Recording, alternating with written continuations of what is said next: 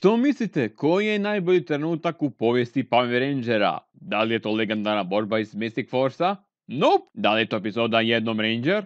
Nope! Da li je to dan kada je Hasbro kupio prava od Power Rangera? Ok, ovo zadnje zabravite, sam uopće spomenuo. No, poanta. Niti jedan događaj u cijeloj seriji se ne može usporediti sa ovom epizodom o kojoj ću govoriti. Epizoda koja je doslovno sve što bi bilo koji fan Power Rangera tražio. Vidjeti stare legende zajedno kako se bore protiv zajedničkog neprijatelja i to sa i bez odijela. I epizoda koja je to uspjela prikazati jest Forever Red, gdje su se deset crvenih rangera sakupili da bi zaustavili preostale preživjele generale iz carstva strojeva, u njihovom naumu da dobiju kontrolu nad Serpenterom, zlim Zordom kojeg je nekada kontrolirao Lord Zed. No, dajte da to detaljnije pogledamo. Za početak vidimo pet robota koji kopaju po mjesecu i promatra ih prva legenda Andros, Space Ranger. No, skužili su ga i krenuli za njime, ali pobjegao im je. Why, I even once met Lord Zed and Rita.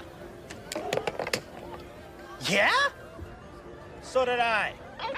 Za sve koji nemaju pojma ko su ova dvojica tutleka, to su vam Bulk i Skull, dvojica nasilnika iz Mighty Morphin Power Rangera, odnosno šašavi krelci koji su samo davali smješak na moje lice. You have a phone call. Hello? E, Da, imamo problemu na mjesecu, možeš li doći? Nakon toga Carter, Lightspeed Ranger, dolazi pokupiti Cola, Wild Force Rangera, da pomogne spasti zemlju. Na poslije su se sastali sa Time Force Rangerima, Vesi i Erikom, Turbo Rangerom TJ-em i tu je i Andros. Andros objasna se svi oni sakupili od strane veteranskog Rangera, koji je vođa tima. Who is that? That's Tommy, the red Zeo Power Ranger.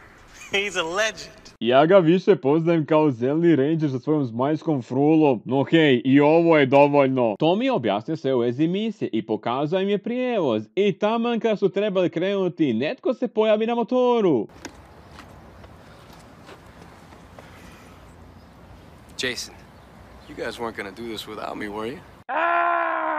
Ovo je kao neki mokri stan! I vidite ovo, osam rangera sa zemlje idu zajedno spasti svijet. Ono što slijedi poslije je čista fešta akcije, gdje rangeri se bore bez svojih moći i onda nakon što izađu van dolazi trenutak koji se čekao.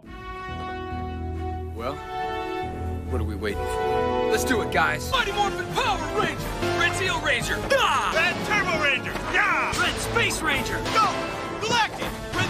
Ranger! Yeah! Time Force! Yeah! Quantum Ranger! Ah! Red Wild Force Ranger.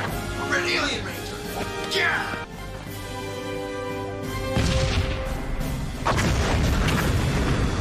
I ako mi netko reče da ovo nije najcool trenutak u povijesti Rangera, taj onda nema blagog pojma što su to Power Rangeri. Borba sa generalima sada slijedi i totalno je precool! Dok onda jedan od preostalih generala nije pokrenuo Serpenteru. No hej, bez brige, tu je cool sa svojim motorom da spasi dan. I da ovo je jedna stvar koja mi smeta. No hej, dan je spašen. Na kraju se naši rangeri opraštaju i vesele se možda još jednom susretu.